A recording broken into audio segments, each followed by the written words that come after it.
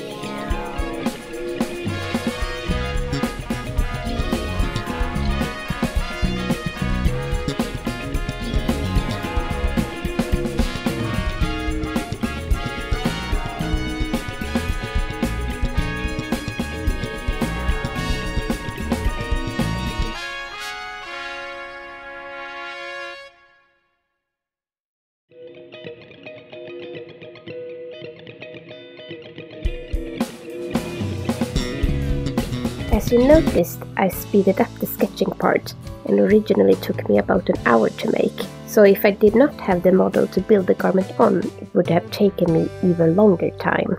So for me, it helps a lot to have a model. That's all for part 1. Hopefully my pants will turn out as I want them in the end. And check out my website at loajnitch.etsy if you're interested in other clothes I have made.